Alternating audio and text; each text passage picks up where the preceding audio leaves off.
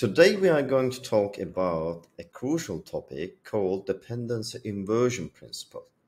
And as starting point, I'm going to use the Ryan's video explanation of dependency injection and inversion of control topic. We are not going to touch the dependency injection and inversion con of control, but uh, I really like his approach to explain something from the very beginning. And that's why I give gave him a like. You can do this. Also, I'm going to put this video in my video description as well. So he starts, the Ryan starts explaining what is a dependency. Uh, and if A uses message from B, that means we have introduced the dependencies. There is some dependency between A and B, or A depends on B.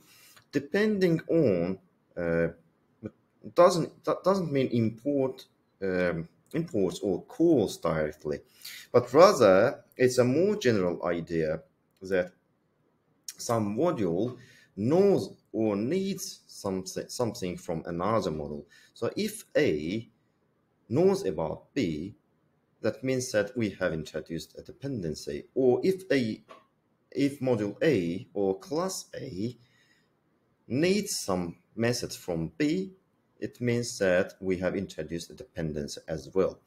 Uh, putting it in a more Pythonic way, if you are even going to import the class B and use it as a uh, type hint in your uh, in your class A, that means you have already introduced a dependency between A and B. So it's just type hints, you know, um, but still it's a dependency. It's a valid dependency between A and B. Um, yeah, the next is Ryan's uh, had a great jo uh, job on writing simple example and it's in Java. And what I did is I've grabbed this Java code and translated it to the Python. And let's explain um, the Python code, the Python simple code here. So we have uh, IOC. So it's a from the original video. Uh, this is a called inversion of control class. We have no inversion of control class container here. We have no dependency injection mechanism because we are not going to talk about that. But it's just bare translation from Java to the Python. And it has a class user. So user, the user class is uh, instantiates, instantiates the MySQL database class and use its persist method to insert, it's a dummy insert to the MySQL database, and it's going to just print something and return some string. I've changed it a bit, uh, just renamed the uh, IOC class to DIP, the dependency inversion principle. We are going to remove it because we don't really need it. But uh, here, to be more realistic, we have this connect method. It's really opening the connection to the MySQL database just simulation, you need to imagine that we are opening a true connection to the MySQL database and it says some flag. So initially it's false, but if we have connected su successfully, it's going to be true and we are checking if connected. We're going to insert the data to the uh, to the MySQL database. In user in user constructor, in user class, we are still instantiating the MySQL database and we are Mm, connect, directly connecting to the database in this user class. And now this code opens up a window to another discussion that first our discussion is tight coupling and loose coupling.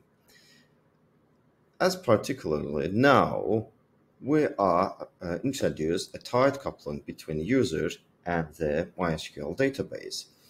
Why it's bad to have a tight coupling because you are introducing untestable code, first of all.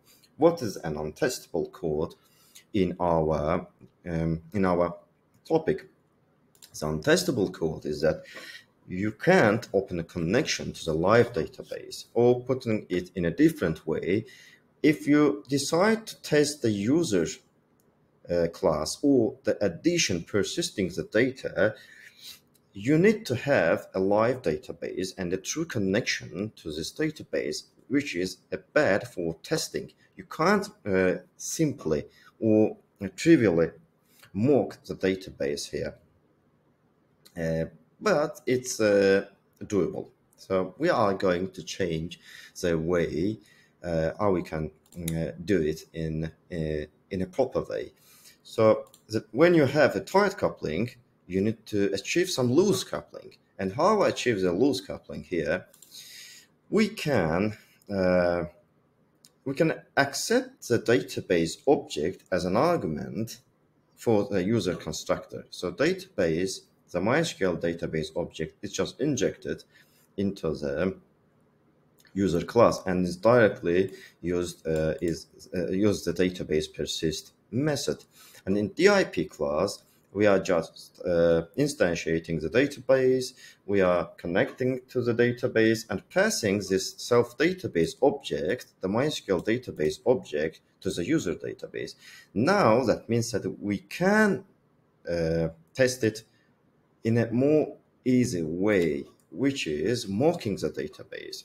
So basically, this is the simplest way we can achieve here. We, mock the database, we mock the persist return value to return back the string, and then we just pass to the user class this mock database and checking if after addition of uh, user add, we have the same string as uh, as a, a, as a return value from the persist and then we are checking this mock database persist assert called. This will ensure that uh, this mock database's uh, persist method called at least once.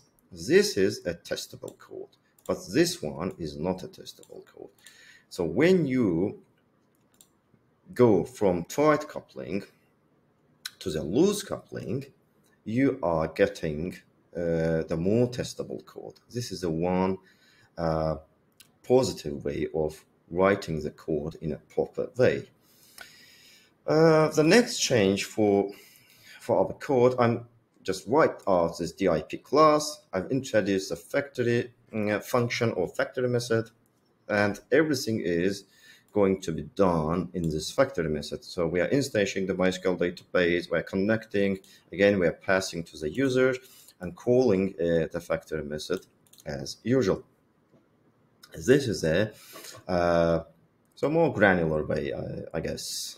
Yes, the, but one day, in a good one day, our business or technical decision maker, I'd say, decides that we need a Postgres database, uh, a Postgres database, Postgres database support. This is the exact copy of the MySQL database, except that we are just changing some dummy strings to reflect that, hey, we are using the PG database. You are not going to touch uh, the class user and uh, because it's accepting some database, right? And uh, you are instantiating the PG database and passing uh, this, uh, then opening the connecting connection to the Postgres and passes data uh, database object to the user, and it will work. Yes, PG has persisted ever some data, but if you were using some kind of static type checker, such PyType, it will fail. Because uh, the expected the expected database type, so wrong argument types, the, uh, the fail is indicates that you have passed the wrong argument types because a PG database is not a MySQL database. They are totally different, uh, entities. They are totally different ideas. And that's why you can't just replace and pass uh, to the class user a PG database. That means it's opening another door to our topic, and that means we need to invert the dependency between our user and between the databases, database implementations. And now I'm going to back to the uh, Wikipedia, and here, uh, so dependency inversion principle states high-level modules should not import anything from low-level modules, both should depend on abstractions. This is, sounds some cryptic, but stay tuned. Another um, article states that high-level modules should not depend on low-level modules. Both should, both should depend on abstractions. So we need to invert we need to invert the dependency between high-level modules or high-level code portions and between the low-level modules or low-level low-level code portions. So what is uh, the, question, the next question is uh, what's the high level and what's the low level?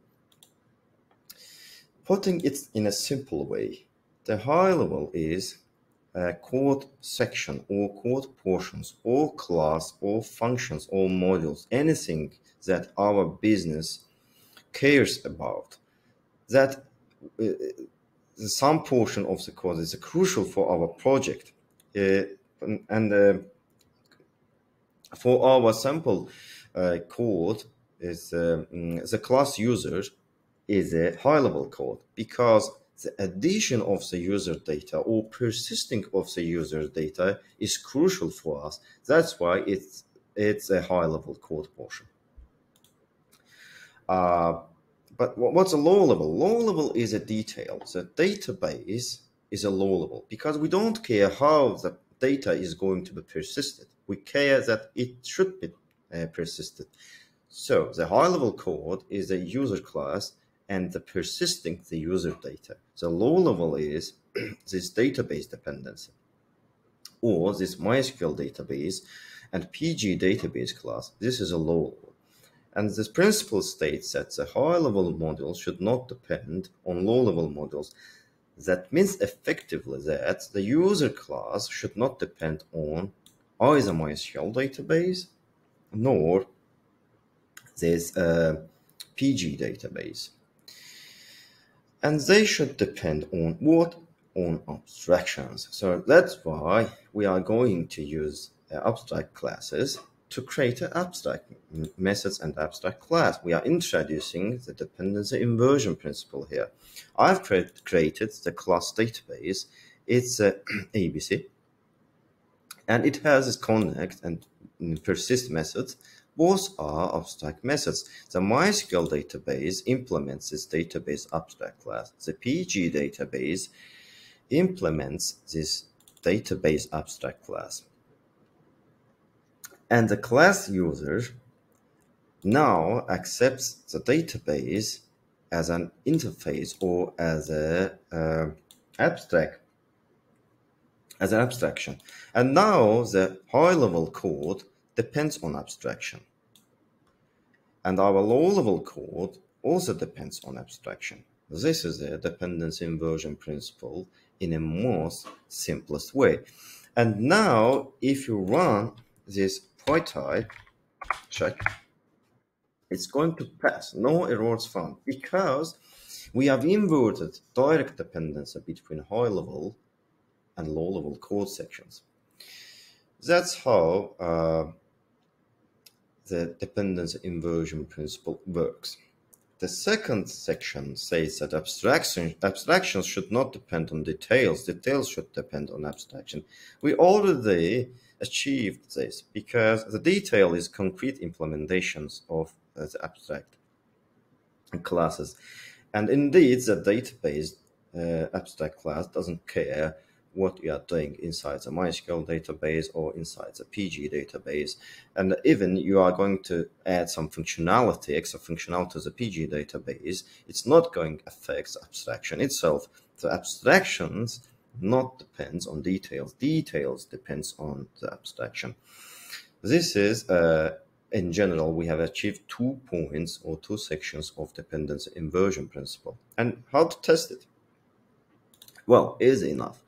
You can easily mock it and say that uh, this is a PG, this is uh, MySQL, and it's going to accept any kind of the database because because the abstract abstractions the abstraction has this persist, persist method and all details all subclasses i would say are implemented this persist, persist method we are pretty done on our explanation but the final thing that I we can do here is uh, to to uh, to introduce some builder or configuration mapper to our code, which accepts a DB type as a string, and it maps this string uh, representation to the actual database instantiation in a class uh, actual class instances,